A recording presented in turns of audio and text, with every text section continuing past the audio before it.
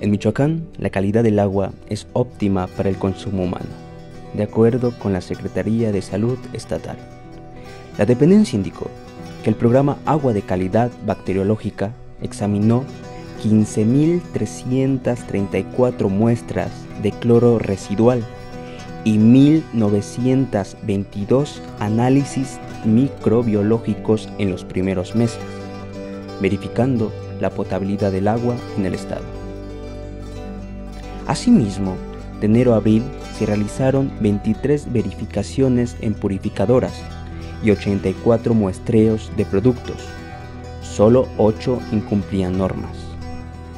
En este punto, el OAPA señaló que se ofrecen servicios de laboratorio para conocer la calidad del agua y garantizar que el líquido reúna las condiciones de idoneidad requeridas. El organismo indicó que el agua de la capital es 100% potable.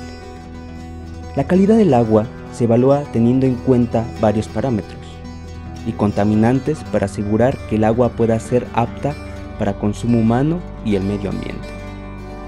Los parámetros y contaminantes claves que se consideran incluyen análisis de microorganismos patógenos, sólidos suspendidos, sustancias químicas inorgánicas, sustancia química orgánicas, pH, dureza, cloro residual, turbidez, entre otros.